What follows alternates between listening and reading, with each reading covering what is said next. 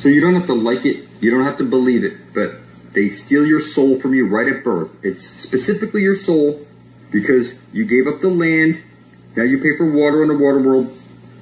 You know, you pay for rent and everything. Everything's supposed to be free. This is your inheritance. This land, you're birthed into this world. It was stolen from you. You are now sold on the stock exchange as cattle. They place you down as male or female that only pertains to cattle. Look it up. The papal bulls state that you are owned as a slave. So you had 45 days to pick this up, the birth certificate from the hospital.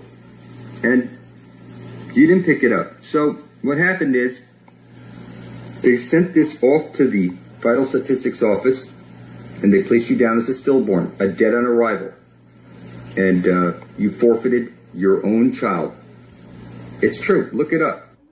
Look at it. When you walk into a courtroom and they call your name, you get up and you put your hand on the gate and you open the gate. the moment you put your hand on the gate, by international law, you of your own volition have opened yourself up to maritime admiralty law because you were on the law of the land. As long as you don't touch that gate and go through it, they, you haven't opened the floodgate. Now, once you open the floodgate, there's a piece of wood on top of that gate, mm. and it's called the bar, and you're not licensed to pass the bar.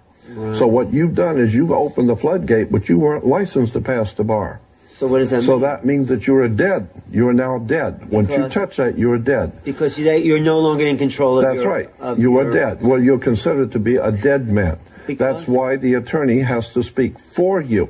He has to represent why you. Why are you dead? Because because you, you went into the deep water and you died. You drowned.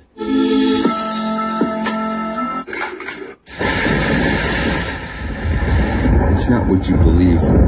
Your creator gave you that blood to make an atonement for your filthy soul. You need to write out on a piece of paper. I intend to bring forth heaven and earth and release us all from bondage.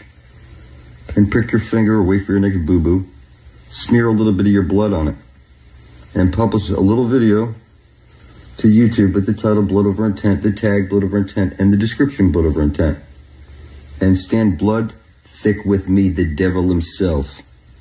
I open up the book of life. It has 144,000 names. That makes me the angel of death. There's billions of people out there.